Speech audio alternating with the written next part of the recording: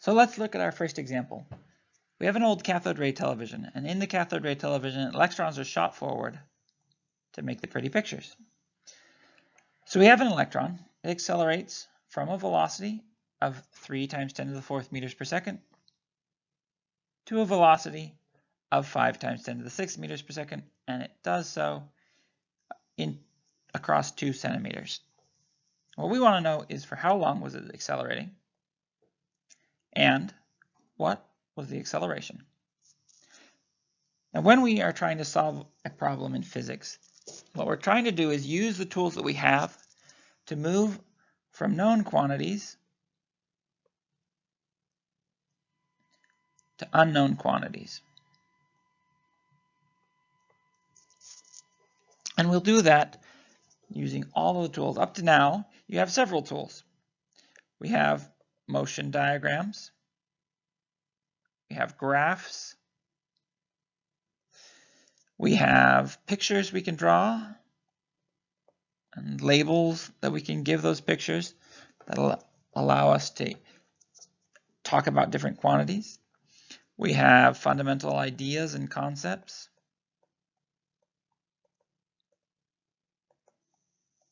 And definitions, uh, such as the definition for velocity. And we also have then derived equations like the kinematic equations. And what we're going to try and do is use the most useful tools to create a picture of the physics that shows us what the shape of the solution will look like. Not necessarily what the answer to the problem is, but more what the direction we need to go in that'll get us to the answer.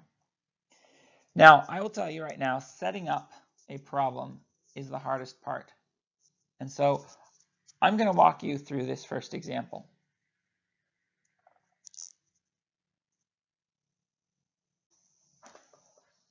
So we have this electron and it's being accelerated.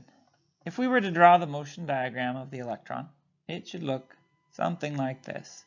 Starts at a time with a velocity and it begins to be accelerated. So it begins to speed up, moving faster and faster and faster. And looking at this, you can see that there is an acceleration in this direction. We're going to just go ahead right now and choose that to be our positive direction. So that this gives us a positive acceleration. If we were to draw a picture of the electron, it'll look something like that. I'm not a great artist. It starts at some initial time in its initial location with a velocity, an initial velocity, which we know. It accelerates, as we said, in this positive direction. And it reaches at some later time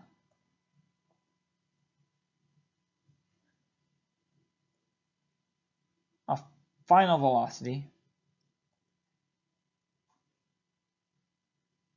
at some final position. Okay, so here we drew the motion diagram so we could get a sense of the of the physics. We've now drawn ourselves a picture and we've labeled it with all the relevant quantities that we think we might need. now we want to make a list of the things we know and the things we want to know so that hopefully looking at those things we can see whether or not we need to, we can use the kinematic equations. Let's see, we know our initial velocity. That was given to us in the problem. That was 3 times 10 to the fourth meters per second. We also know our final velocity. That was 5 times 10 to the sixth meters per second. We also know then how what the distance was between these two points, and that was 2 centimeters. And let's go ahead and convert that right into meters because we're dealing with meters per second, so we won't have conflicting units.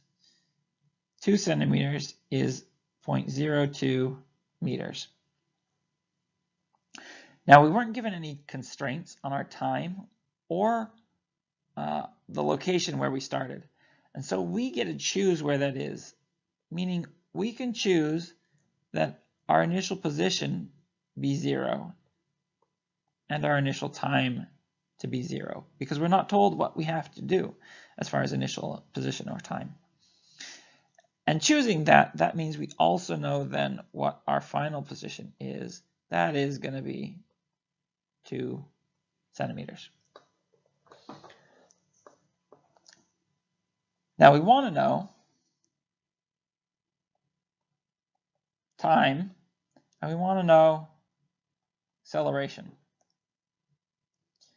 At this point, we've drawn a picture, we've written down everything we know, we've written down what we want to know, and we can begin to search our toolbox to see if we can figure out how to move from known to unknown.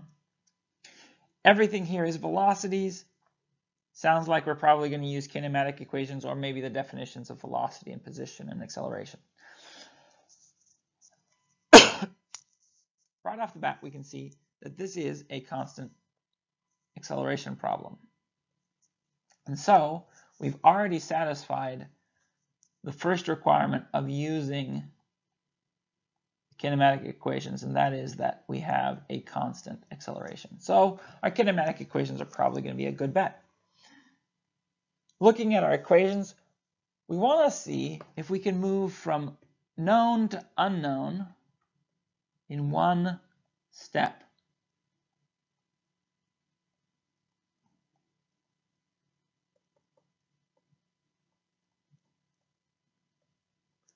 Okay?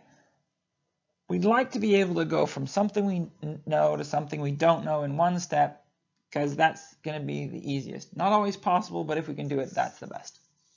Looking at this first equation,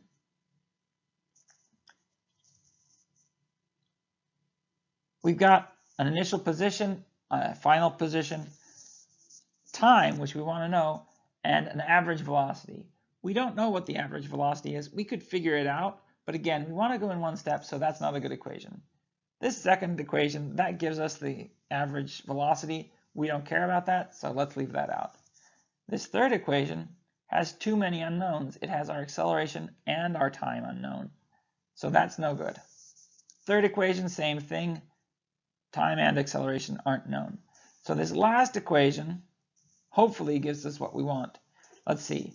We have a final velocity, we have an initial velocity. Those we know. We have a final position and an initial position. Those we know. The only thing we don't know is this acceleration.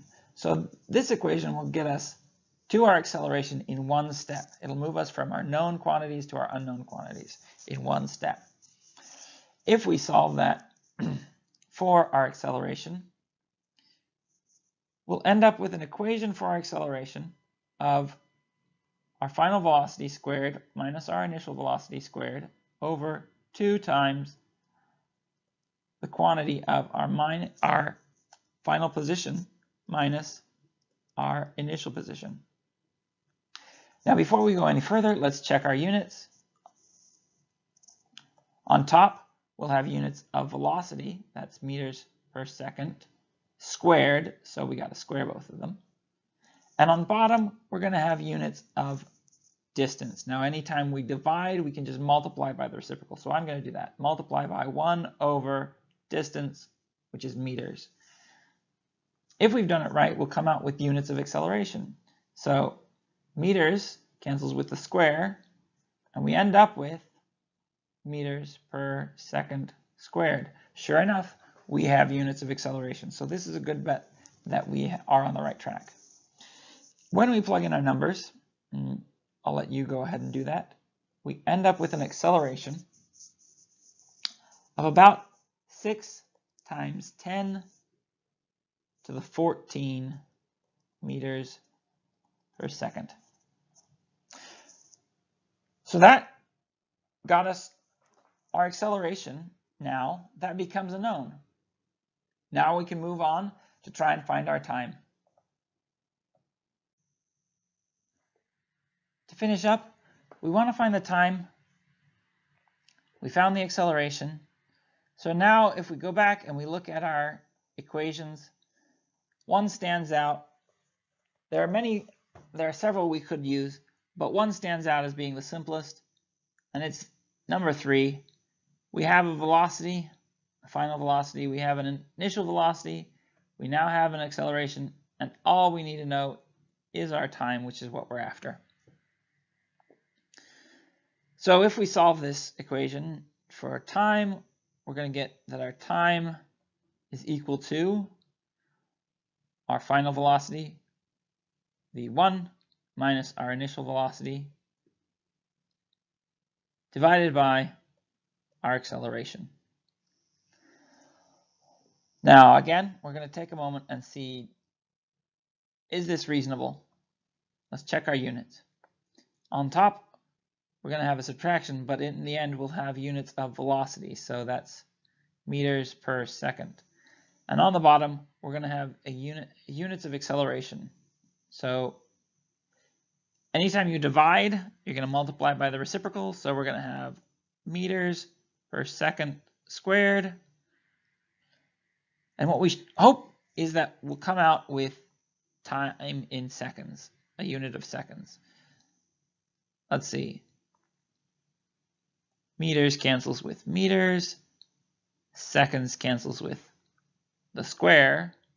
And sure enough, we get units of seconds. So that tells us that we're probably on the right track. Let's just finish up here. If we put in our values, we end up with a time of about 8 times 10 to the negative 9 seconds. Or in other words, about 8 nanoseconds. That's pretty fast electron. So, to recap, we drew ourselves a picture and label uh, chose our variables in such a way that it gave us a pretty good idea of how we could approach the problem. We wrote down all of the things we knew, we wrote down what we wanted to know, and then we looked at our toolbox. We looked at our kinematic equations and said, is there a way to go from something we don't know to something we want to know in one step? In this case, we could. In future problems, we not, might not always be able to go there in one step, but we could get pretty close.